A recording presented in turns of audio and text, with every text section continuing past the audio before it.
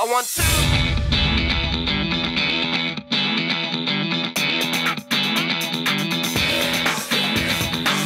Всем привет! И это снова Тест-ТВ на Женевском автосалоне.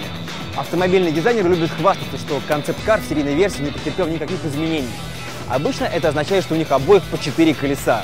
Поэтому в случае с S-класс купе все боялись, что Mercedes-Benz ограничится прагматичной и чего уж там скучной версией радикального концепт-кара, который мы видели во Франкфурте. Давайте проверим, насколько Mercedes-Benz верен своим обещаниям и насколько у него получилось создать прямого конкурента Bentley Continental GT. На фоне относительно приземленных новинок Женевского автосалона S-класс купе казался явно маргиналом. Консервативный немецкий бренд неожиданно выпустил спортивное купе в обертке топового представительского седана. Более того, покупателям будут доступны опции, которых можно было ожидать разве что от арабских шейхов, тюнингующих свои лимузины самостоятельно. Например, фары со стразами Сваровски. Владелец может установить до 94 кристаллов, которые также будут выполнять функцию линз-сигналов указателей поворота и ходовых огней. Несмотря на приставку купе, автомобиль остается S-классом, что в первую очередь означает внушительный размер, в длину чуть больше 5 метров. Однако немцы постарались это максимально скрыть, придумав так называемый камуфляж – рельефные боковины и высокую, поднимающуюся вверх линию под окнами. Помимо этого, S-класс купе снабдили почти вертикально стоящей радиаторной решеткой и агрессивным обвесом от придворного тюнера AMG.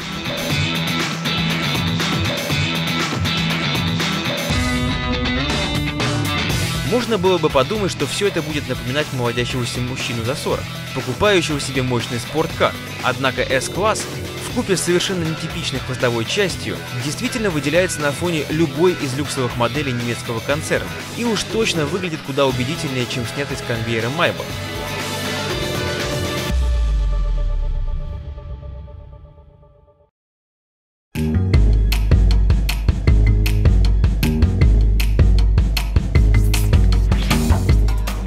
Новый дизайн мы уже частично видели на недавних мерседесовских спортивных купе вроде CLA, то самое главное начинается внутри. Тут полное ощущение концепт-кара. Руль словно со ставками мрамора, изогнутая, как будто плывущая приборная панель. Наконец, экраны вместо привычных кнопок. Перемещение подушки безопасности под руль помогло дизайнерам поменять все традиционные элементы под правой рукой водителя тачпэд.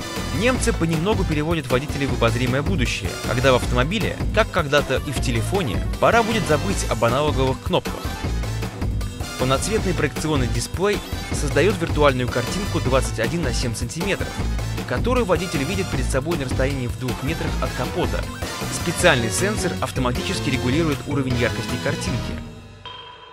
First of all, this car does not share the instrument panel with a Приборная панель полностью отличается от той, что вы можете найти в седане S-класса. Первое, что вы замечаете, оказавшись внутри, это эффект обертывания вокруг. То есть здесь нет ни одного отдельно стоящего элемента. Нет такого, что вот здесь приборная панель, а здесь дверь. Все перетекает друг в друга, создавая единый элемент. Это в точности то же, что мы сделали с экстерьером. Вы не можете определить, где кончаются боковые панели или передняя часть. Все элементы становятся едиными. Все это часть принятой нами в компании Mercedes философии чувственной простоты. В купе S-класса перешли все системы безопасности от седана, которыми так гордится немецкий концерн. Например, при угрозе лобового столкновения автомобиль самостоятельно тормозит на скорости до 200 км в час.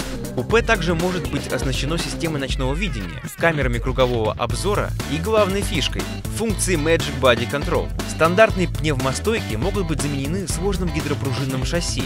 С помощью установленной у салонного зеркала стереокамеры такие опоры помогают автомобилю заранее готовиться к подавлению поперечных кренов. Обратный крен кузова уберегает самых чувствительных пассажиров от перегрузок и укачивания.